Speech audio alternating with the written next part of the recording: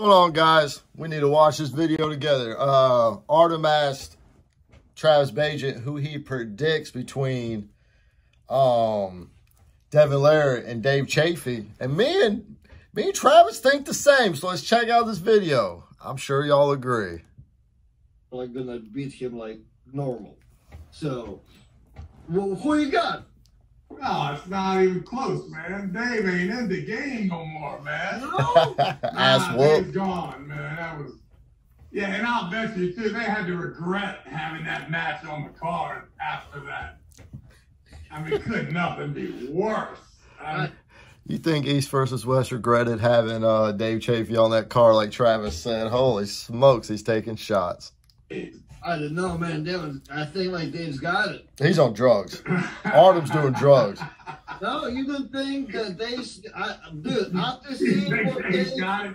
Dude, what the fuck builder. would you think that for? uh, Dave's, uh, what was the last, David Vitale, right? Dave's ability and seeking, he can do some personality. Look at nowadays. Travis. I believe, hey, I, Dave can come in and bring you to the table. You don't think so?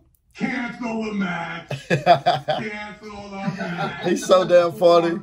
Course, sports. Whoever your whoever your guy is, whoever your matchmaker is.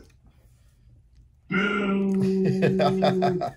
I mean, the whole card sucks. What are we talking about? Ian and Coach Ray, not even close.